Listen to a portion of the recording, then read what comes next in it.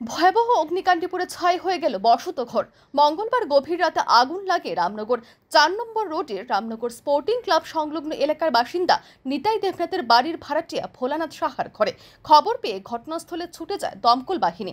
তাদের দীর্ঘ প্রচেষ্টায় নিয়ন্ত্রণে আসে আগুনের লেলিহান শিখা। তবে দমকলের ইঞ্জিন ঘটনাস্থলে আসার আগেই ঘরে থাকা একটি গ্যাস সিলিন্ডার ফেটে আরও তীব্র আকার ধারণ করেছিল আগুন। সেই আগুনে পুড়ে ছাই হয়ে যায় বসত ঘর। আগুন নেভাতে ঘটনাস্থলে পৌঁছায় দমকলের ছয়টি ইঞ্জিন। বুধবার সকালে বাড়ির এক ঘনিষ্ঠ আত্মীয় জানিয়েছেন, গভীর রাতে যখন আগুন লাগে তখন বাড়িতে কেউ ছিল না, তাই কোনো প্রাণহানির ঘটনা না ঘটলেও লক্ষ লক্ষ টাকার ক্ষয়ক্ষতি হয়ে গেছে। মেয়ের বিয়ের জন্য কিনে রাখা স্বর্ণালঙ্কার সহ পুরে ছাই হয়ে গেছে ঘরে থাকা সমস্ত জিনিস। তবে তাদের প্রাথমিক সন্দেহ নাশকতার জেরে লেগেছে এই আগুন। ইচ্ছে করে বাড়ির পেছন দিক থেকে কেউ আগুন ধরিয়ে দিয়েছে। আমার ছোটোবেলার বন্ধু, আমার বাবারও বন্ধুর বাড়ি, আমারও বন্ধুর বাড়ি এটা, ওর বাবা আমার বাবার বন্ধু আর আমি ওর বন্ধু। আর গতকাল আনুমানিক রাত এগারোটা চল্লিশ নাগাদ ওর বাবা, মা আর বোন ছিল মামার বাড়িতে, ওর মামার বাড়িতে। ও আমাদের সাথে ছিল। এখানে একটা পুজো হচ্ছিল, বজরংবলী পুজো। ওখানটায় আমরা ছিলাম। হঠাৎ শুনতে পাই যে সুমিতের বাড়িতে আগুন লেগেছে। আমরা দৌড়ে চলে আসি এখানে। আসার পর দেখতে পেলাম ওর ঘরে খালি সিলিন্ডার ছিল একটা, ভর্তি সিলিন্ডার ছিল একটা। সিলিন্ডারে একটা ব্রাস্ট মেরেছে। এবং ফায়ার ব্রিগেড আসতে আনুমানিক পাঁচ সাত মিনিট লেট করেছে।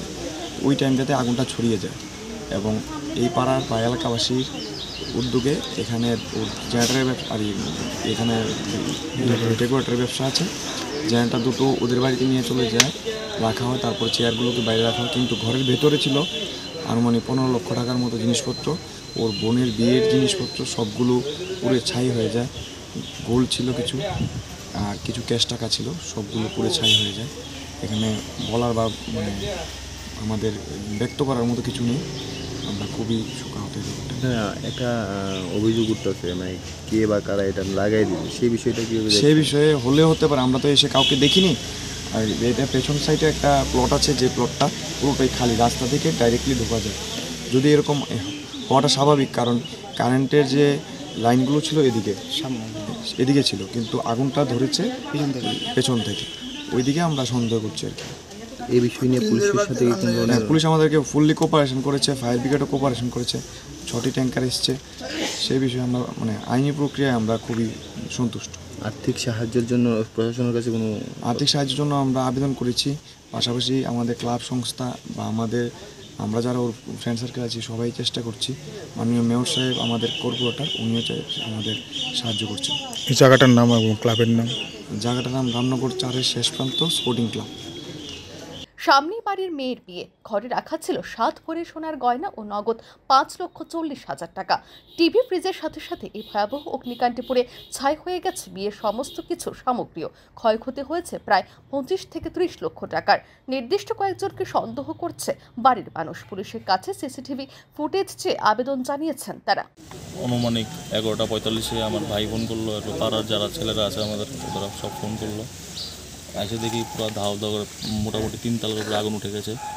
একদম কিছুই ছিল না, একদম দেখতে পাচ্ছেন আমরা পুরো আলমারির কিছু টাকা ছিল, আমাদের মোটামুটি আনুমানিক পাঁচ লাখ চল্লিশ হাজার মতো ক্যাশ ছিল। এবং আমার বোনের বিয়ের জন্য সোনা করা হয়েছিল মোটামুটি পাঁচ থেকে সাত ভরির মতন ছিল। এগুলো কিচ্ছুই নেই, অবশেষ একদম পুরা নিষ্ঠ হয়ে গেছে, পুরো আমাদের মামার বাড়ি পুরো একদম শেষ করে দিয়েছে। আর আমরা চাইছি পুলিশ প্রশাসন জন্য আমাদের একটু সাহায্য করে।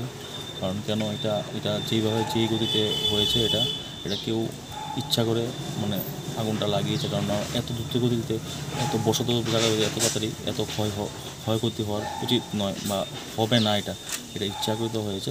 কারণ আমরা চাইছি সিসিটিভি ফুটেজ পুলিশ পুলিশ যেন সব এক্সট্রাক্ট করে এবং কালপিটকে যেন ধরা হয়। কারোর উপরে সন্দেহ। আমরা এখন মানে সন্দেহ তো আছে মোটামুটি কিন্তু একজ্যাক্ট তো সন্দেহ করে বোঝা মোটামুটি আমি চাইছি পুলিশ যেন তদন্ত করে সিসিটিভি ফুটেজ আমাদেরকে দেয় দিলে আমরা দেখতে পাবো যে আমরা যাদের কাছে সন্দেহ করছি ওরা কি এই এই দিকে মানে এই টাইমে মুভমেন্ট করেছেন তাহলে মোটামুটি তাহলে আমরা শিওর কালপিট আমরা এখন চাইছি সিসিটিভি ফুটেজের জন্য একদম পুলিশ তাড়াতাড়ি যত তাড়াতাড়ি হোক তারা যেন তদন্ত করে আনুমানিক কত টাকার ক্ষয়ক্ষতি হবে বলে মনে হয়? বললাম তো যে পাঁচ লাখ চল্লিশ হাজার টাকা। আমার ভাই রিসেন্টলি কন্ট্রাক্টর তো কন্ট্রাক্ট পেয়েছে একটা। বড় কন্ট্রাক্ট ওটার জন্য ক্যাশ টাকা বাড়িতে রাখা ছিল ওটা। আর এমনিতে সোনা আর টিভি টিভি ফিস তো আর ডেকোর ডেকোরেটার মাল মোটামুটি ধরুন আরও আরও অনেক পনেরো লাখ টাকা মতো সব। মিললে একটা মোটামুটি। ধরেন না বিশ পঁচিশ লাখ টাকার মতন তো হবে মিনিমাম মানে একদম মিনিমাম হবে এটা। কিছুই নেই আপনারা দেখতে পাচ্ছেন। আপনার নামটা? আমার নাম অর্ঘদীপ দত্ত মজুমদার উনি আমার মামা। হয় আগুন নিভে যাওয়ার পরেও পরিস্থিতি খতিয়ে দেখতে বুধবার সকালে ঘটনাস্থলে গেছিলেন দমকল বাহিনীর এক উচ্চপদস্থ আধিকারিক। স্থানীয় জনগণের কাছে এদিন তিনি আবেদন জানান অগ্নিকাণ্ডের কোনো ঘটনা ঘটলে দমকল বাহিনীর অফিসে সরাসরি ফোন করার জন্য। এতে অনেক তাড়াতাড়ি ঘটনাস্থলে পৌঁছতে পারেন তারা। পুলিশ মারফত খবর পেতে পেতে অনেকটা সময় নষ্ট হয়ে যায় তাদের। দেখলে আর মানে কি ক্ষতি হয়েছে যদি বিস্তারিত ক্ষতি তো সম্পূর্ণই হয়ে আছে ঘটনাটা হয়েছে। গতকাল রাতটা আজকে আমরা ওখানে ইনভেস্টিগেশন করতে এসেছি, এসে যা দেখলাম ম্যাক্সিমাম ড্যামেজ হয়ে গেছে। আর দ্বিতীয়ত লসটা প্রায় পঁচিশ পঁচিশ লাখের মতন হয়ে যাবে ডেকোরেটার জিনিস এবং বাড়ির জিনিস সব কিছু মিলিয়ে। আর দ্বিতীয় কথা হলো, আমা- আমাদের এই এলাকার মধ্যে আমার মনে হয় সচেতনতা কম। ফায়ার সার্ভিস যেখানে থাকা সত্ত্বেও তারা ফায়ার সার্ভিসকে সরাসরি ফোন করে নেয়, ফোনটা করেছে, একশো বারোর মাধ্যমে হয়ে আমাদের এখানে আসে, আসেছিল। একটু দেরি, তাই ফোনের পরে আমাদের অফিসে, একশো বারো থেকে কন্ট্রোল থেকে আমাদের অফিসে যায়, অফিস থেকে এখানে ফোনটা আসে। আমি এলাকার সব শুভগুণ সব শুভ বুদ্ধিসম্পন্ন ব্যক্তিদের সবাইকে বলছি, ফায়ার সার্ভিসের সরাসরি ফোন করুন, সরাসরি ফোন করলে যত সহজভাবে গাড়িটা আসবে মানে ইনডাইরেক্টভাবে একটু হয়তো লেট হতে পারে। তো সবার কাছে অনুরোধ থাকবে, আপনারা সরাসরি ফোন করুন ফায়ার সার্ভিসের সাথে। আর ফায়ার সার্ভিস আসতে দেরি হয়নি, গতকাল রাত্রে কিছু এদিকের উশৃঙ্খল যুবকেরা আমাদের স্টাফদের সাথে উশৃঙ্খলতা করেছে, এটা ঠিক হয়নি।